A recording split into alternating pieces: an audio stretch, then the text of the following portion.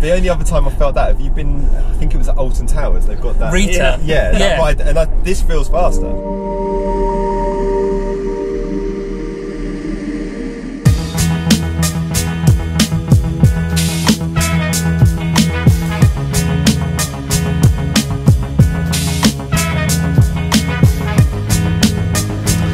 Hello, I'm Nathan and I'm a detailer. Um, you might recognise this car behind me. This is Phil's uh, new Tesla uh, P90D. I'm going to be detailing it and Jules is going to be fitting paint protection film to the front end, the bonnet, the wings and the bumper. Um, I'm going to try and just show you through a little bit of the process. Yeah, hopefully you find it interesting. Okay, first up the wheels. This is a Gtechniq's Iron Out Fallout Remover. Uh, basically works by dissolving the iron particles and turning, that's annoying, turning them purple.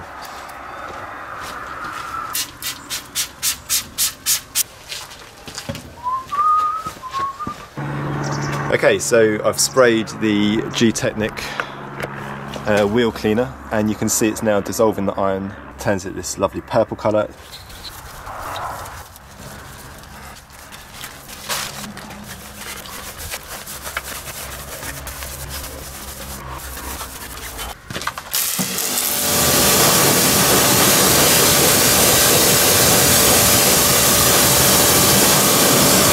One wheel cleaned.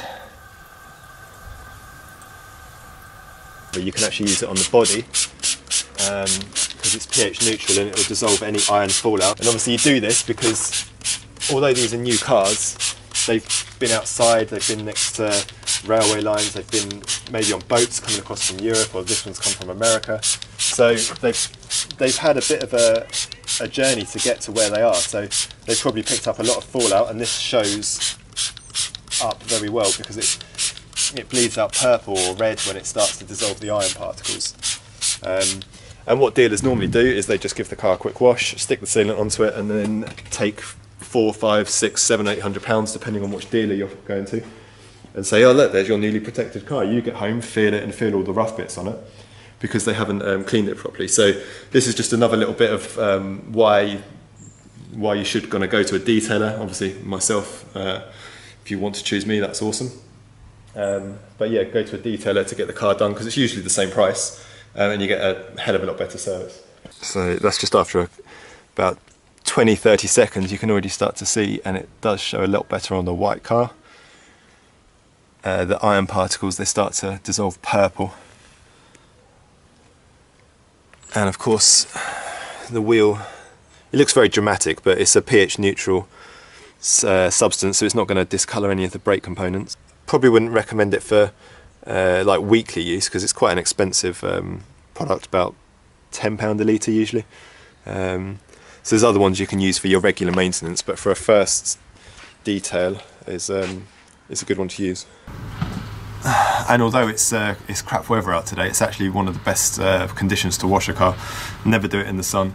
Um, and if it's warm, everything just dries off too quickly. So I might be getting wet, but it's keeping the car nice and wet, keeping all the products moist on there as well.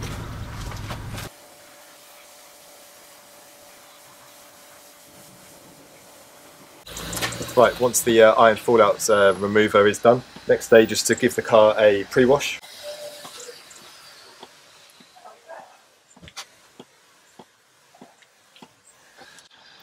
And basically this just gets off all the other contaminants like any sap or bugs or um, greasy residue before, um, before we give it a shampoo.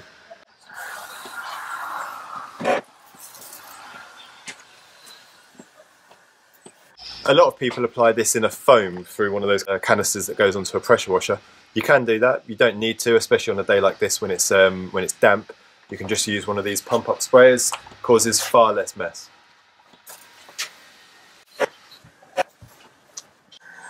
And once that has dwelled for a couple of minutes, you can start rinsing it off. You're actually looking at blasting as much dirt off as possible. So go quite slowly, quite methodically with the pressure washer.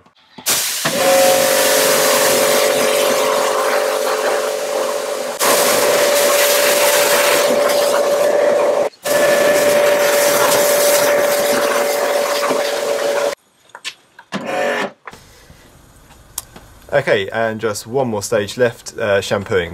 Two buckets, two buckets, one a rinse bucket, one a shampoo bucket. Put your wash mitt in the rinse bucket and just give it a bit of a scrub. Pick up the shampoo, wash a section, back in the rinse bucket, scrub it off, and pick up more shampoo. That way, all of the dirt ends up in there, and all of the clean shampoo stays in here.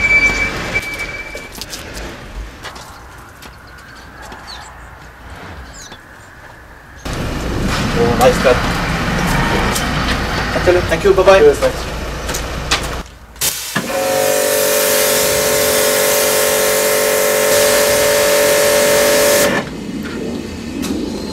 And that is how you safely wash a car. Right, the Tesla's all washed.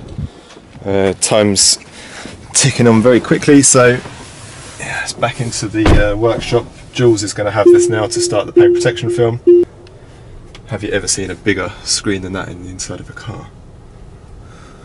This feels a little bit slow. How can I speed this up? Uh, driving, ludicrous, uh, max batch. I'm only kidding, Phil. I'm not going to do that to your car.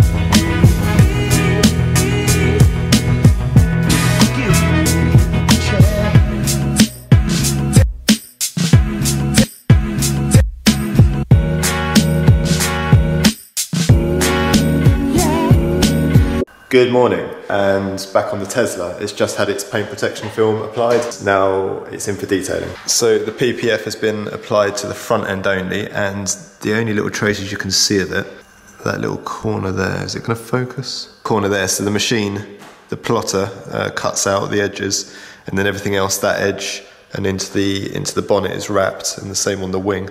So the wing, uh, you can just see there. That's better. So you get these very, very clean lines. Obviously, we wrap where we can. So inside the door shut there is all wrapped as well to give you this clean install. And the gloss, as you can see from the uh, from the camera, gloss is exactly the same as the rest of the paint. So it's it's not an invisible install. At the end of the day, it's a product that is there to protect the paint. Um, but it's as good as it's um, it's as good as we can physically get it with the with the products we have at the moment. Lights are protected as well on this car. Front of the sill to here. There's a little line there that, again, so low down on the car you can barely see it. And the mirrors. Mirrors got a line around that you can, again, can barely see.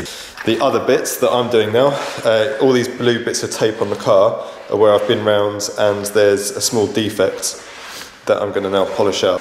As with most brand new cars, there's normally little areas where maybe they've been polished slightly on the production line or it's just been marked in transportation. So they detract from the look of it. And obviously, like I said, being brand new, needs to be perfect.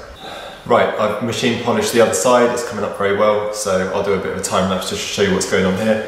Bit of a harder polish first, just to get rid of the defects, and then go over it with a finishing polish afterwards to make it nice and glossy.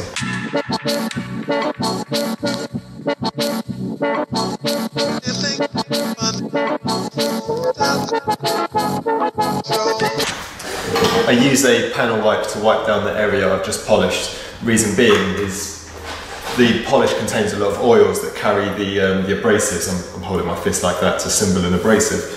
Um, obviously they're microscopically small. But the, um, the oils can leave a glaze on the panel that makes it look as if it's been corrected. Later on when the customer gets home, washes the car, those oils come out and you can see all the marks again. So me getting the oils off now, I can see that I am actually correcting the paint.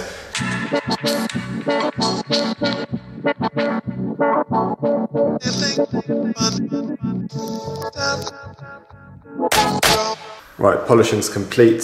There wasn't much to show on a white car, but I will link in now some images of a red car that I did yesterday, where you can clearly see on the bonnet the marks that can be caused from preparation and uh, out in the light, if these catch the eye, they're obviously pretty unsightly. So these are all polished away. And then uh, with the paint completely corrected and wiped down, it's time for the Gtechniq.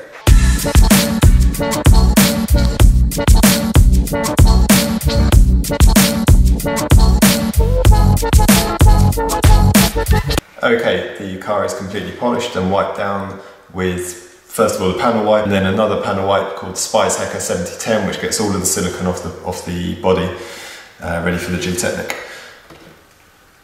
This is Gtechniq Crystal Serum. This is Kamikaze ISM. The, both of them together go onto the car. This is the base coat, this is the top coat. The base coat gives you seven years of protection, swirl and chemical resistance. The top coat makes it extremely hydrophobic, easy to wash and repels all the dirt.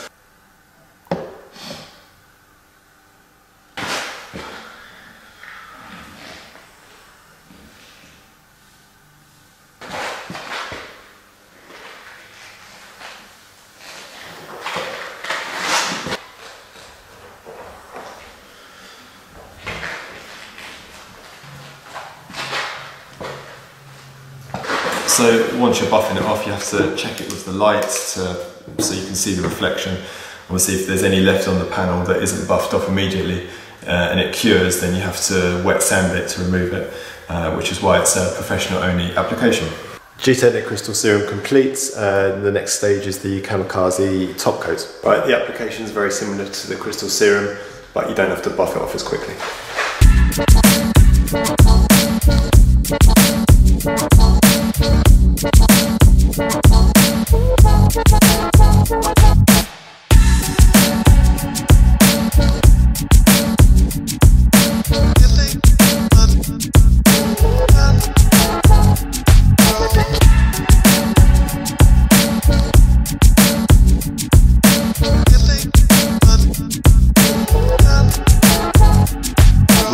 Been often treated with Gtechniq C5. Body is all done with the crystal serum on the panels that haven't got paint protection film and then Kamikaze ISM over the whole thing. Last job is the glass. And it's going to have a polish with some Gtechniq G4 before the G1 goes on.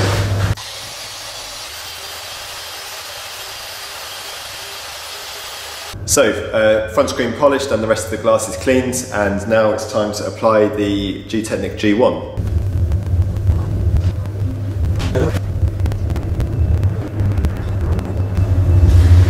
So I put three coats onto the windscreen, uh, two to start off with, then go around the whole car, uh, putting a coat on the side and rear glass, and it's got a glass roof on this car as well, and then come back and do another coat on the front screen.